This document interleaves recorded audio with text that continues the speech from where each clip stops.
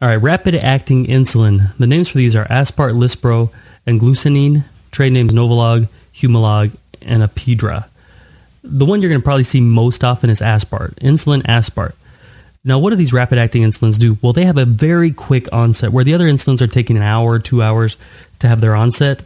These rapid acting insulins are going to have an onset of just a few minutes. So, Aspart, for example, has an onset of about 10 to 20 minutes with a peak of one to three hours and a duration of just three to five hours.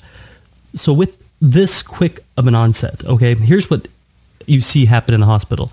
The patient has a seven o'clock dose of aspart. Okay, it's supposed to be given right before breakfast. What'll happen is, you know, a novice nurse or a nurse who's just too busy or not, you know, really connecting all the dots will see that medication is due and they'll go in and they'll boom slam the insulin aspart really quick. So what happens with that is within 10 minutes, our patient's blood sugars plummet. Okay, they tank. That that insulin aspart on has a very quick onset when it's supposed to be given right before breakfast, right with breakfast. Okay, so they're taking in uh, nourishment, they're taking in glucose right after they're given that.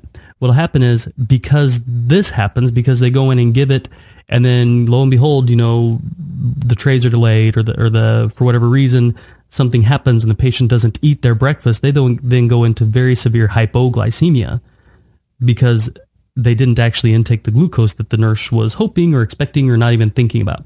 So with patients who are on this rapid acting insulin, if they have a morning dose, they have anytime they have a dose, uh, make sure that there's that the blood sugar can handle it. Okay, and especially if it is this morning dose, supposed to be taken with breakfast. Make sure that you're giving it with breakfast. Don't do it until you see the tray in the patient's hand. Okay, that's really what I want to preach to you on that.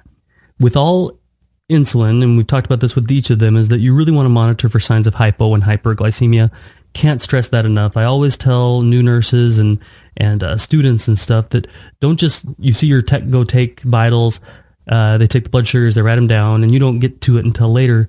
If you can't get to it right away, make sure you recheck the blood sugars. And then if you are treating like a severe hyperglycemic state, you know, blood sugars of 400, make sure you're following up. Make sure you're seeing if it's working. If it does get up to like 400, you should be, you know, calling a physician. Patient may be going on an insulin drip, but you really should be watching very closely, and especially with these ones that have a very, very quick onset Make sure that you're staying close with the patient, monitoring what's happening to see that you're not seeing this patient into a severe hypoglycemic state. All right, so that is rapid acting insulin. The one that you're probably going to see most is Aspart. Onset of 10 to 20 minutes, peak of 1 to 3 hours, duration of just 3 to 5 hours. This has been another episode of the MedMaster Podcast by NRSNG.com. To get our free cheat sheet covering the 50 most commonly prescribed medications, head over to nrsng.com slash 50meds. That's nrsng.com slash 50meds. Thank you so much for joining me today, and thank you for being part of the NRSNG family. We're here to help you succeed in nursing school and in life. So start your journey today over at nrsng.com slash 50meds. We're glad to have you aboard. You know what time it is now. It's time to go out and be your best self today. Happy nursing, y'all.